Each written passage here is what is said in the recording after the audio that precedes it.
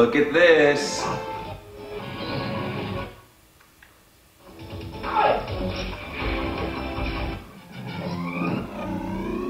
Cool little image, right? And we have the latest attract mode. Let's go ahead and hit tab.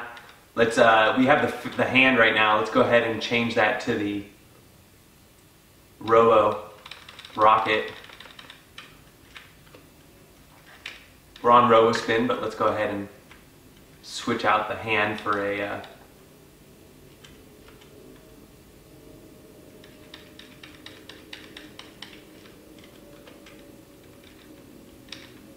rocket. The other thing we need to do is delete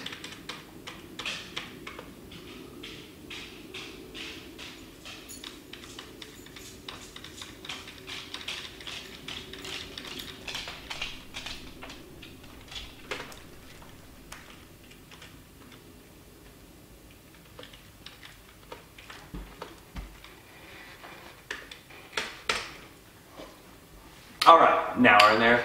We have K, we got Capcom. So this is Rey's 128 gigabyte image with the latest version of RetroPie as of 1 4 2017. And everything that works on the stock image and more works on this image. There's N64, uh, your Famicom is working, your uh, family disk system, MSX, MSX2, PlayStation, your PSP minis. Everything is working perfectly in attract mode. So let's go ahead and give this a, a test. Um, I guess we got to start with, let's start with something fun. Oh, well, let's check out the menus too. And as you can see, we still have all the attract mode working. So CPS 1, a lot of people had issues with that running. So let's pick a game out of here. Maybe one that's a little more graphically intense. So The Punisher. Press B. Final Burn Alpha 2012. One of my controllers is not configured. I'm pressing select to insert some coins. After this, press start.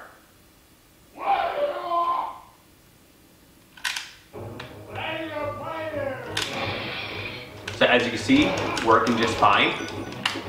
Okay, we can jump out of that. Let's say Street Fighter 2 um, Hyper Edition.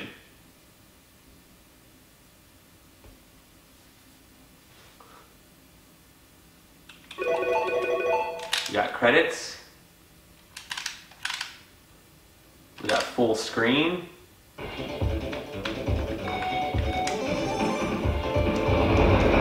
No lag. Ran really well.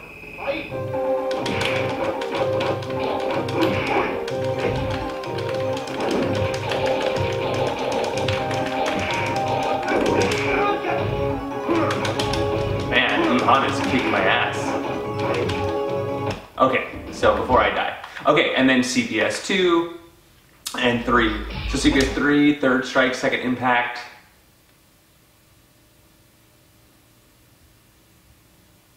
Again, no issues. Load dried up. Oh, did not want to do that. Third strike. Loading up. No issues.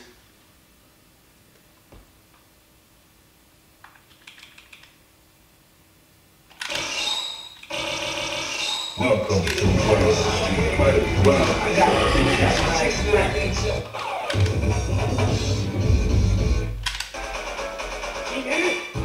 Into the heat of battle. Go for it.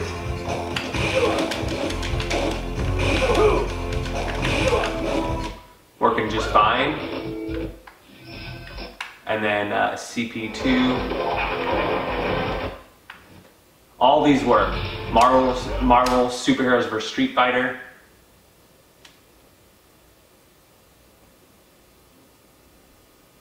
Look at that. Perfect.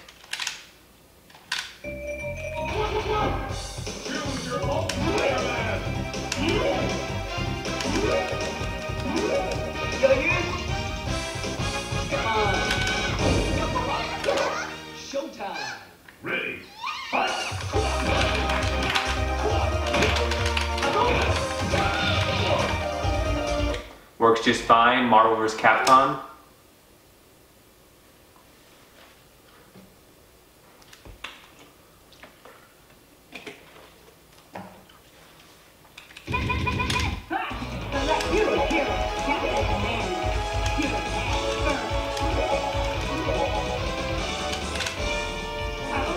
Look at that, working no problem whatsoever.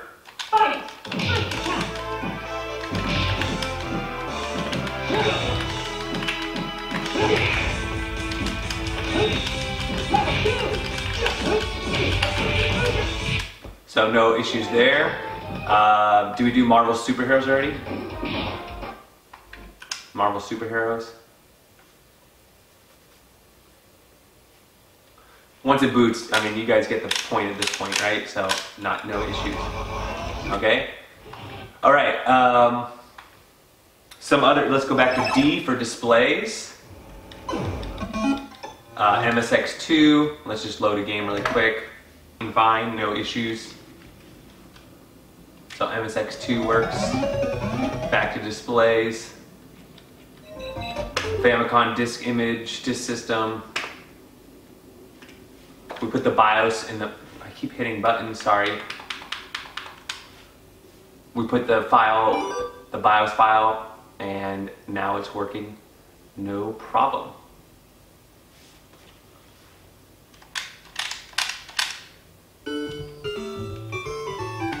Play tennis now. Whoops. I didn't know which player I was. Okay, so that game works just fine. Let's go ahead and go back to displays, D. Game Boy, Game Boy Advance, Virtual Boy, we installed the emulator, that works fine. You know, Nintendo, just to show you, Contra, very classic game.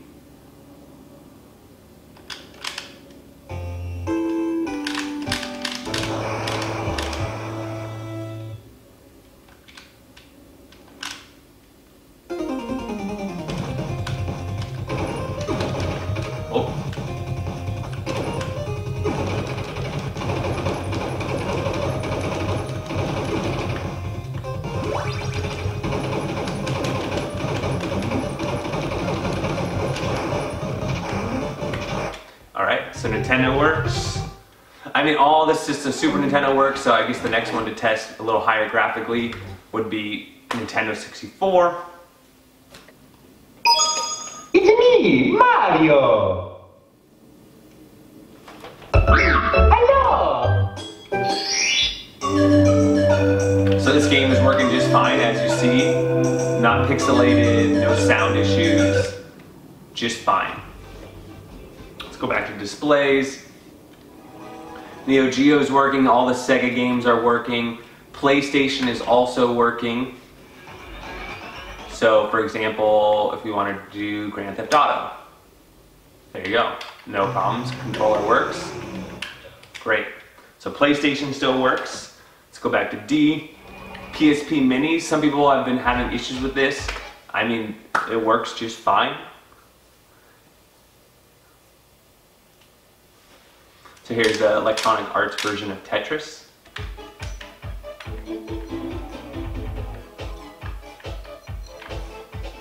Okay, so as you see, no issues there.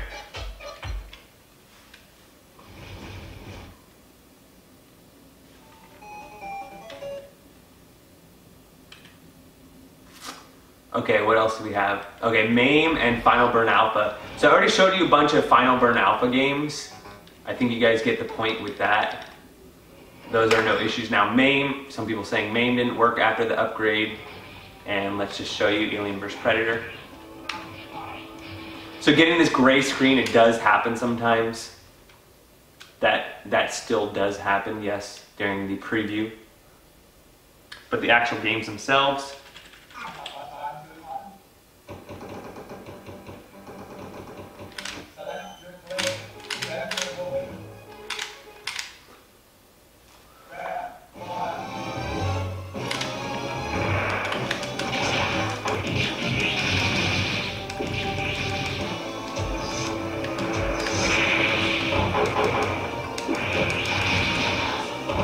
so working just fine there.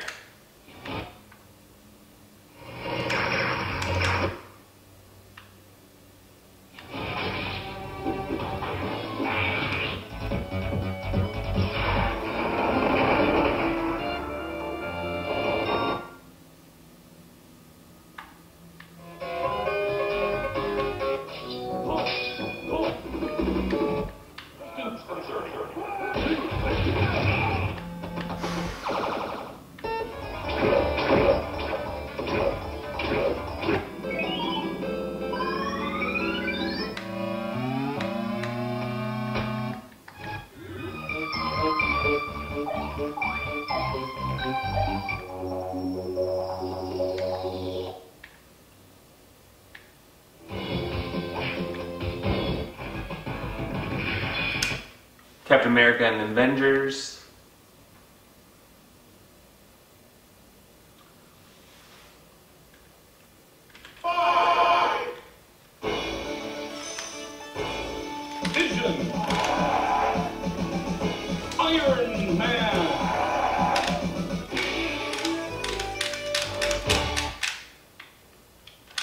So I accidentally put a second player in here, but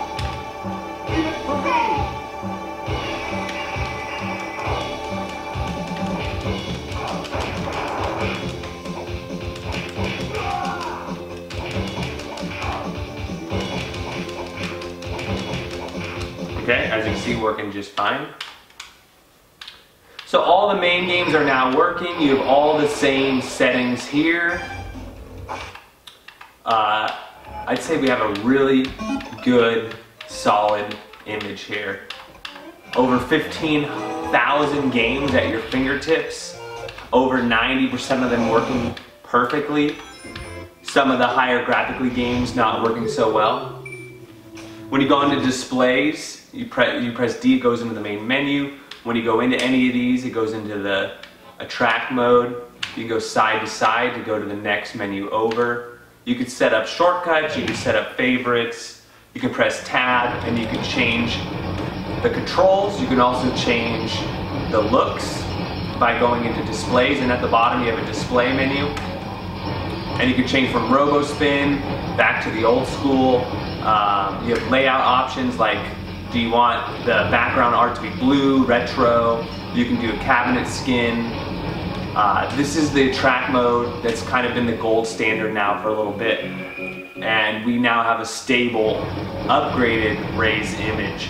Now let's go ahead and go into Emulation Station just to show you um, what, what Pi model I'm on. All right, we're in RetroPie, RetroPie setup, and you can go ahead and see that we are on the latest version. We updated four days ago at the latest 4.1.8.